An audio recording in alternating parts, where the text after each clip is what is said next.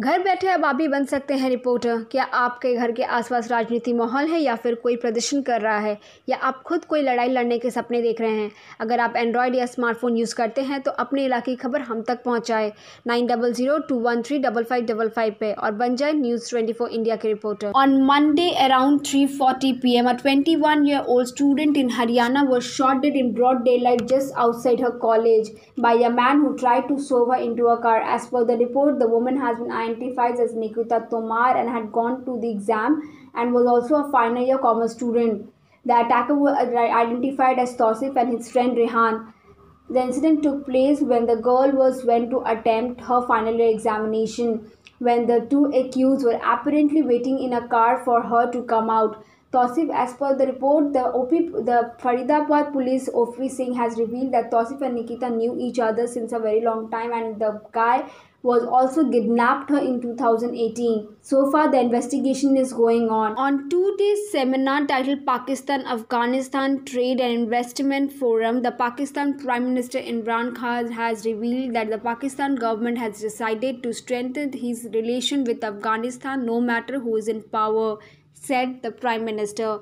While inaugurating two-day seminar, Khan reaffirmed Pakistan's strong resolve to continue play its vital role for peace and stability in Afghanistan. However, Pakistan government was making effort to enhance its connections with the business community of Afghanistan in order to benefit from each other experience. TV actress Malvi Manotra was elegantly stabbed by a man with a sharp knife in suburban Andheri after she turned down marriage proposal. As per the police report, the incident took place around 9 pm on Monday in Versova area of Andheri when actress Malvi Manotra was returning home from her cafe. It has been revealed by the official that accused Yogesh Manipal Singh, who was in a car, stopped her on a way and asked why she had discontinued talking to him.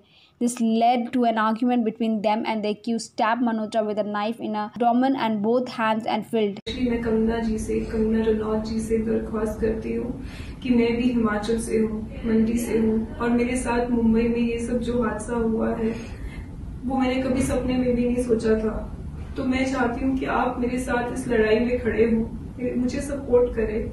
बस इतना चाहती हूँ। Tax Department has carried out a search and size action on large network of individuals running the racket of entry operation and generation of huge cash through fake billings and documents evidencing accommodations entries of more than rupees 500 crore were found and seized. As per the report, the search operation were conducted on 42 premises across Delhi, NCR, Haryana, Punjab, Uttarakhand and Goa. It has been revealed that the search has led to size of evidence exposing the entire network of the entry operators, intermediaries, cash holders, the beneficiaries, and claims and companies involved. National Conference leader Omar Abdullah slammed the central government over a nullification of Article 370 and 335A of the Constitution. Through the social media platform, he tweeted, Amendments were unacceptable and added that Jammu and Kashmir is now up for a sale unacceptable amendments to the land ownership law of Jammu and Kashmir. Even the tokenism of domicile has been done away when pursuing non-agricultural land and transfer of agricultural land has made easier. Jammu and Kashmir is now up for sale and poor small land holding owners will suffer.